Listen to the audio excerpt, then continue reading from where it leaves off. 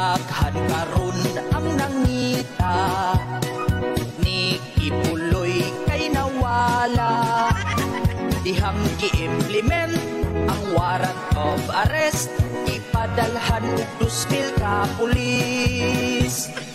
KOJC gipalibutan Sa mga pulis gibantayan Ang ilahang dakon Usa lang katawo Duha ka libo ang moaristo.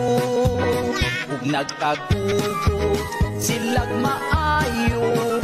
Kay ni babag ang mga miyembro May nabunog ug gipusasan Kay ni sukol daw sa mga kapulisan. Halak ka. Ilang gisulod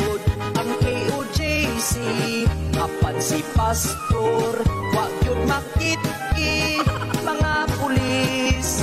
Nagsigig pangukoy Kay na-detect daw ang heartbeat ni Kibuloy. Mga pangag ilang giupan Basig maoy kitagpuan Sa pila ka adlaw Gisusigitan aw Wa gyud si kibuloy ni patimaw